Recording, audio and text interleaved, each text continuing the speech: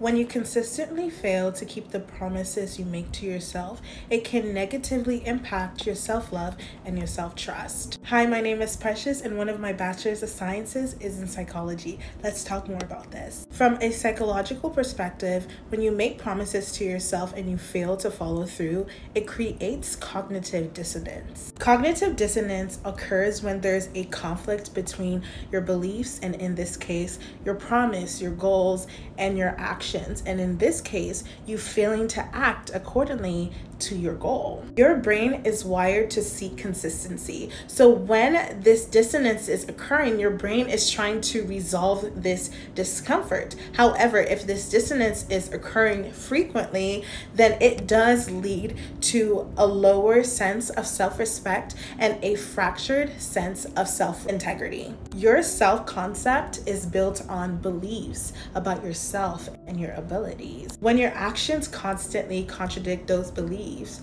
you start to feel less confident in your ability to meet your own standards, which erodes your self trust and diminishes self love in yourself over time. It is essential that you keep the promises that you're making to yourself on a day to day basis. You can start by making small, achievable steps. Start with promises that are easy to keep and then slowly build your way up. I hope that helps.